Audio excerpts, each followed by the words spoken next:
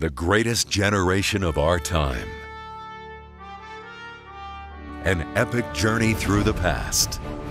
Our World War II veterans who fought for freedom visit our nation's capital. I'm Jeff Lawson of the World War II Memorial, the place where we let our veterans know how much we appreciate their service and their sacrifice. Reflections of Honor. Today at 2 on WLOX ABC. Sponsored with limited commercial interruption by Keesler Federal Credit Union.